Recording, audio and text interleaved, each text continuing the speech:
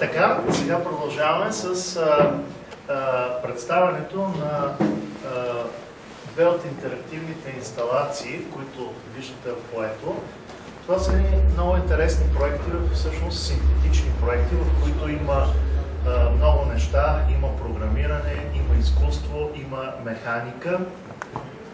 Интерактивните инсталации са сравнително сложно нещо, което изисква познания от различни области. Аз много се радвам, че в България през последните години започват да се създават такива инсталации. Те изискват и подход, и виждане, и цялостна концепция. И а, много е трудно да бъдат направени от хора, които не могат така да си представят цялостната комбинация. А много често хората с технически бекграунд нямат достатъчно артистичен бекграунд или хората, които имат артистичен бекграунд, нямат достатъчно технически познания. Именно за това такива инсталации често се правят в екип. И не е страшно, ако човек е само артист или художник, не е страшно, ако е само програмист, винаги може да се комбинирате двама, трима и да направите такава инсталация. Понякога тя става с подръчни материали дори и с повече желание става сравнително така ефтино но понякога тези инсталации струват доста пари. И сега имам удоволствието да ви представя двама наши участници от Художествена академия, които имат две много интересни инсталации. Те ще ги обяснят накратко. И след това, даже ако искате, могат да ви ги обяснят с демонстрацията. Здравейте и добре дошли на форум Компютърно пространство. Първо да благодарим на организаторите и на домакините от Чешкия център аз съм Мартин Пенев, това е колегата ми Николета и двамата сме студенти в Национална художествена академия, магистърска програма Дигитални изкуства. Днес ще представим двете инсталации, които са отвън. Ако не сте ги пробили, може да ги пробвате.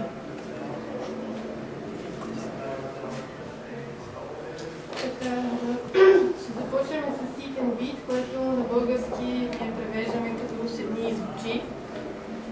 Като Както се види инсталацията се състои от 6 стола и когато човек седне на един от столовете, започва определен семпъл и така може да се композират по различен начин музикални парчета, така да ги наречем.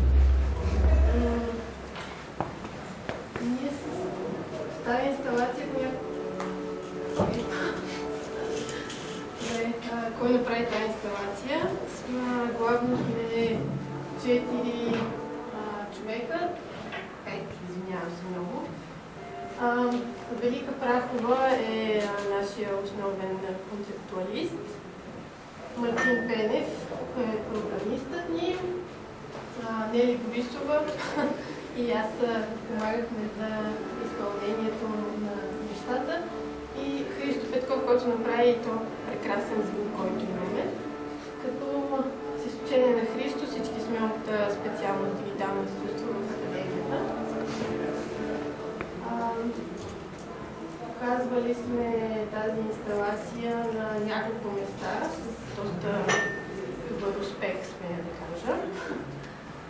може да видите Фест 2011, Дорба от София, Малък сезон с Хомато, фестивала Водната кула, и фестивал за перформанс Шах пешката. Като тази инсталация е направена 2011 година и е съвсем нова. Всъщност, отбора, който си направихме от колеги в академията, нарекохме 10-11, така че от автори се пише 10-11 на столовете. От какво се състои видяхте 6 стола с 12 възглавници за седалка и за облегалка. Тези възглавници са от като в тях има специални кухини и в горната и в долната част имат алуминиево фолио. При сядане фолиото прави контакт в горната и долната страна, т.е. те представляват един вид бутони. А когато тези бутони се натиснат, комуникират с микроконтролера Arduino. За тези, които не знаят, това е просто едно малко мозъче, което използваме за посредник с компютъра, където имаме инсталиран софтуер Pure Data. там вече става интересното. може би чувате а, как, как, как работят столовете. А, Чух коментари, че е било лесно да се направи такова нещо, защото а, то е все едно ионика, стол ако виж, просто сядаш и тръгва някакъв семпъл, само че защо тогава, когато и да седнеш, винаги нещата звучат хармонично.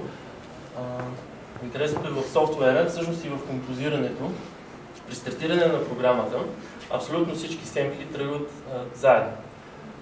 От предварително направена композиция от Христо Петков, като всеки стол отговаря за отделна част от, а, парчето.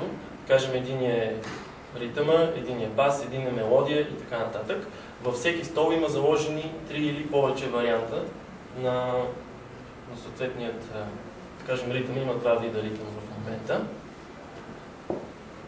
Те звучат едновременно, но са без звук.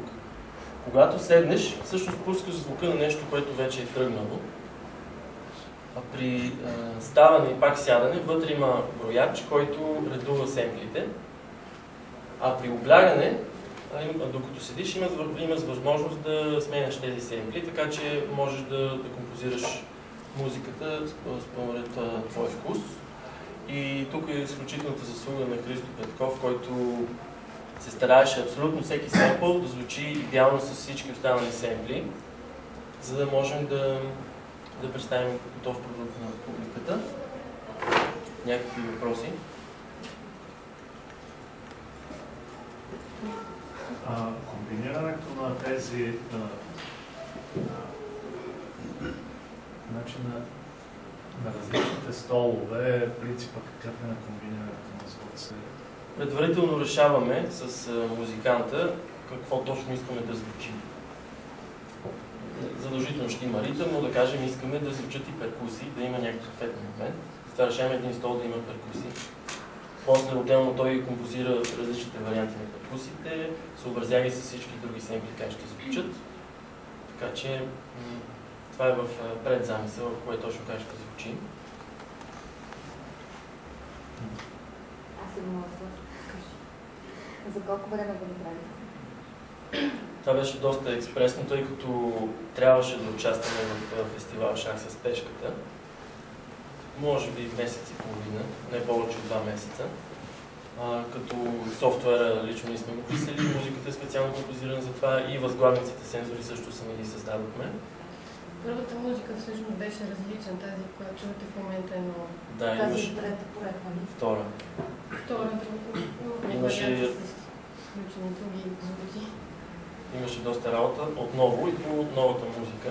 Всъщност някои от вас може би са слушали и старата, които знаят CDB. Може ли човек сам да си композира, така че да обогатява последствия? Тоест да донаписва разни неща. По-скоро си играем с изфирването на вече готовите неща, но като цяло това е възможно. Зависи от софтуера и композиране. Тоест, трябва работа с компози... музикални идеи.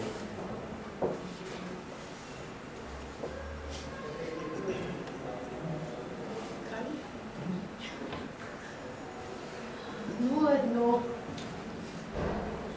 Много интересно заглавие. Това е а, инструмента, която виждате тук в ъгъла, с големия масив и малката кутийка.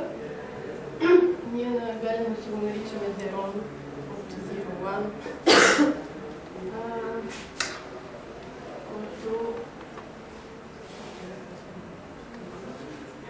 той е по, по-скоро направен от столовете. Е показан само на дигиталния фест през а, а, септември на Дорбо от София.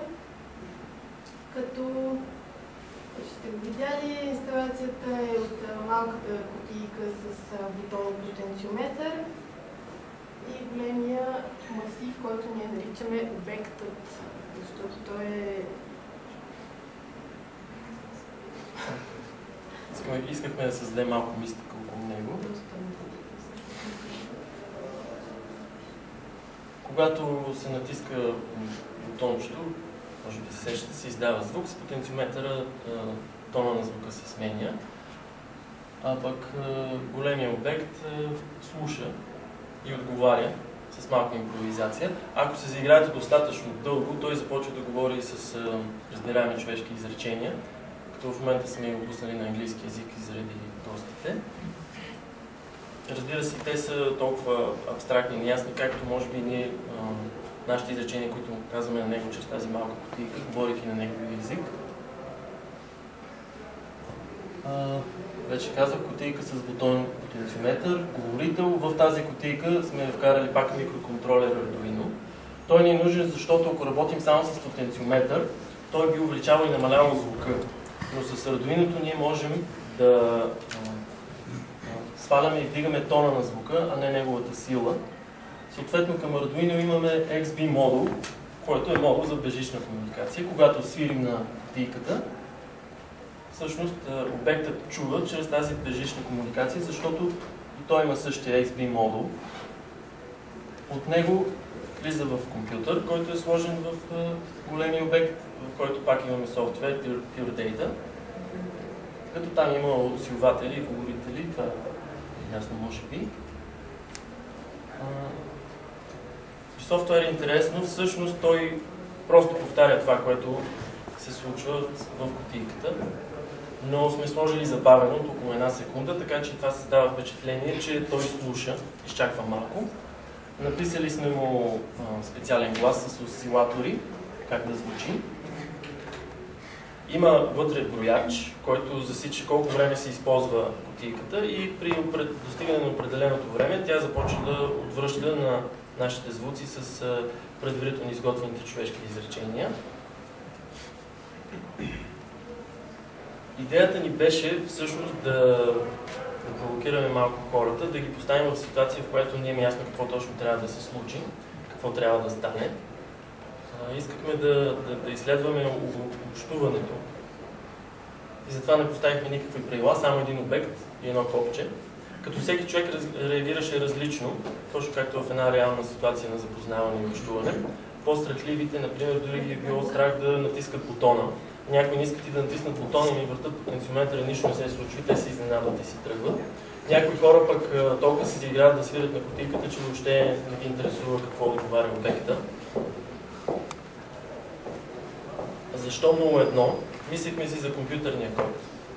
За тази основа, която работят комуникациите в момента. Също така си мислихме да, да снижим нивото, защото сме направили общуването много базисно, просто с звук, с имитация, с импровизация. Няма говорене, няма обсъждане на теми и идеи. Освен това, така подредени 0-1 предполагат някаква прогресия до плюс безкрайност, точно колкото могат да бъдат възможностите и в контакт между две лица в едно общуване.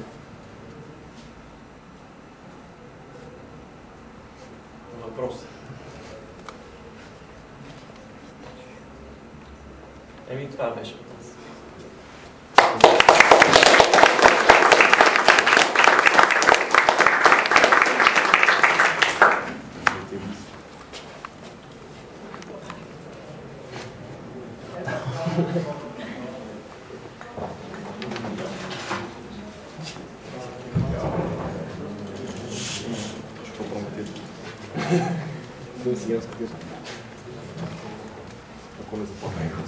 Ами.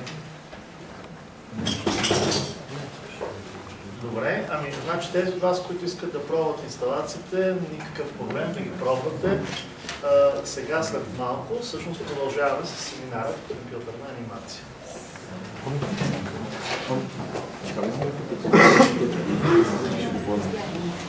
идеята